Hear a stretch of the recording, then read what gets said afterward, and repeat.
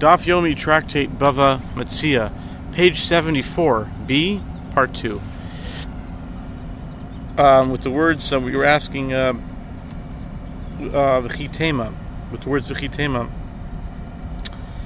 And if you would say, indeed, the curse of he who exacted payment never applies to a buyer according to the opinion of Rabbi Shimon, isn't it taught in a Braita that Rabbi Shimon says that even though the sages said that when a party, what one party takes possession of a garment, the other party acquires a gold dinar, but when the party takes possession of a gold dinar, the other party does not acquire a garment. In any case, that is what the halacha would be. But the sages said, with regard to one who withdraws from a transaction, where one party performed an act of acquisition by pulling the gold dinar into his possession, he who exacted payment from the people of the generation of the flood,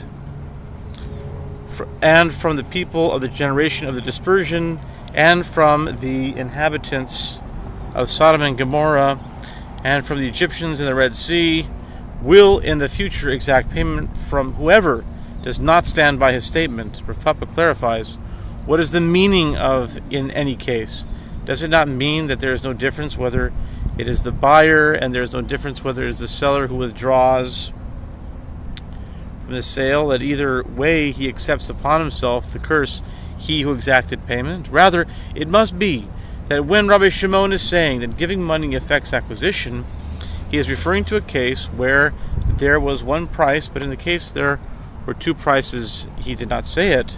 Rav Acha, the son of Rava, said to Rav Ashi, but let Rav Papa derive this halacha in the case of dowry employing a more straightforward reasoning. The father in law initially made the betrothed man an agent, and since he was an agent, the father in law could say to him, I sent you to act for my benefit, not to my detriment. purchasing the jewels at a more expensive price is to the detriment of the father in law, and therefore the agency and the sale itself are nullified. Rav Ashi said to him, it is speaking here about a case where the father in law did not actually make him an agent. Rather, the betrothed man was a merchant who buys and sells merchandise. The father in law understands that he engages in commerce and that he will not always profit from his trading. I think we'll stop it here and we'll finish off with part three. And I'm connecting that to the tefillin because you look at your tefillin, there's a shin with three prongs, and there's one with four. And uh, so and that's seven. And someone told me you should think about the three fathers and the four mothers. So I think I'll apply to this daf today, especially the four mothers for Mother's Day. Stays Jewish.